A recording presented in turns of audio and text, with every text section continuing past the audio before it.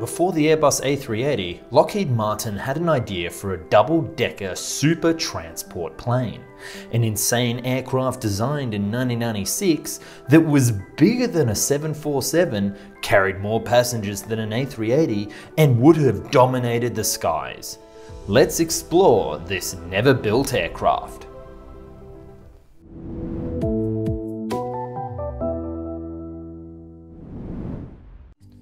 Hey, it's me, Nick here from Found and Explained. If you like this video, then consider subscribing today. Back in the early 90s, there was a problem with airports. Air travel was increasingly becoming popular and airlines were struggling to get enough airport landing slots for all of the demand. Some airports like Heathrow were utterly full and were selling landing slot pairs for millions of pounds. Cha-ching!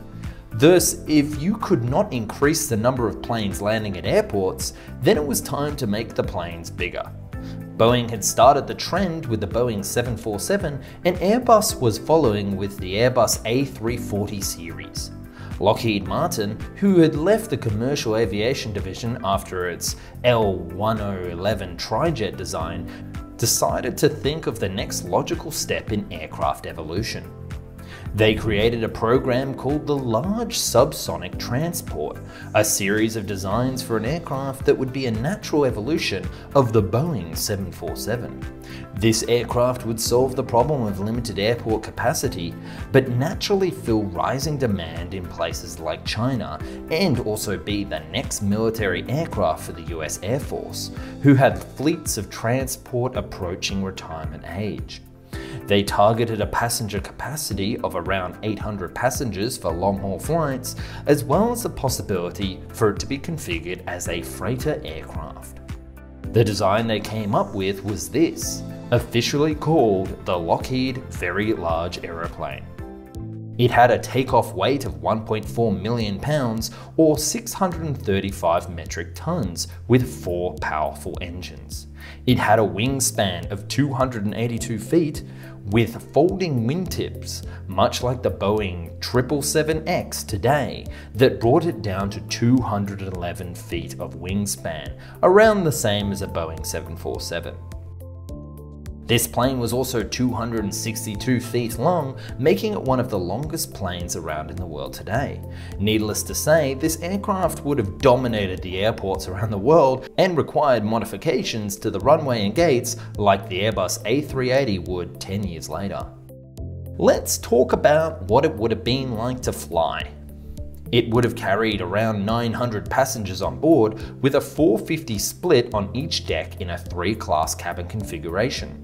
This aircraft was impressively wide, so passengers would have found themselves in a cabin around 17 seats across, or 3-4-3-4-3 configuration with four aisles. Today, the maximum that an aircraft has is around 10 seats across. Lockheed Martin also planned for a cargo version of the aircraft with intermodal containers.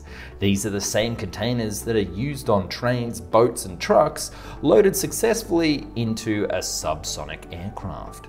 The plane would have been able to hold 16 of them on the lower deck and still carry 450 passengers on the upper deck. Now, if this sounds very heavy, then you might be onto something. Let's talk about the aircraft's range and where it would fly. In the design document, the plane only had a range of 3,200 nautical miles, or 5,900 kilometers. This is shockingly small compared to the Boeing 747 with 7,730 nautical miles, or the Airbus A380 that could fly 8,000 nautical miles. Flights between London and New York, a distance of 3,008 nautical miles, would have been possible, but routes over the Pacific would have to land in Hawaii first. This would have made it unpopular for Asian airlines and those in the Middle East because it couldn't fly far enough. Lockheed Martin was optimistic, however, and believed that they would have a market for around 280 to 370 aircraft. For comparison, the Airbus A380 only sold 242 units, 38 less than the minimum number predicted for the Lockheed Martin Very Large Aeroplane.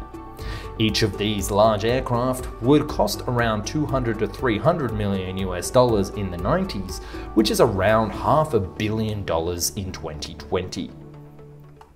If all of this sounds fantastic, then why was it never built? Fascinatingly, for once, an aerospace firm showed hubris, and the report Lockheed Martin admitted that it had neither the resources nor the know how to build the plane. It suggested that it would have to partner up with Boeing and Airbus simultaneously to bring it to the market, for a total development cost of around 18 billion US. And there are also several other disadvantages to this design. First, it would be incredibly noisy during takeoff and landings.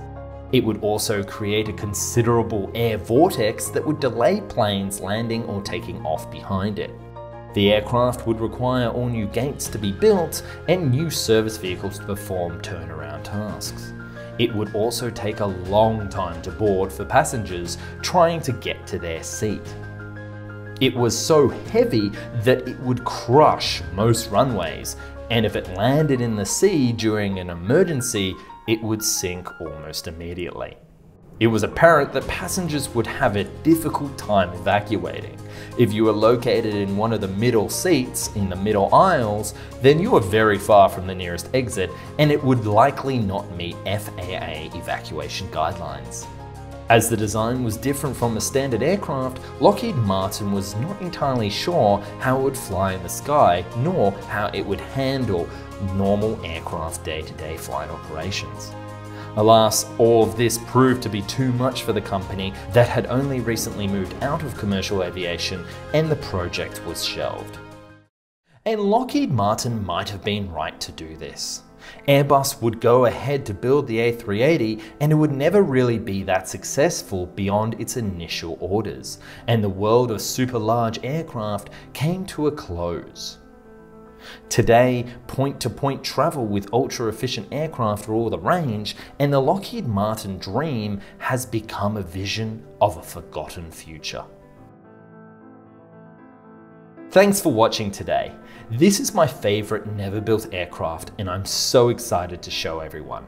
I couldn't wait to sit down and build a 3D model for this program today and I think it really adds to the production. If you liked it, I would really appreciate a like down below and maybe even a comment of your thoughts on this design. And if you want to see more never built aircraft, then click subscribe to stay tuned. Take care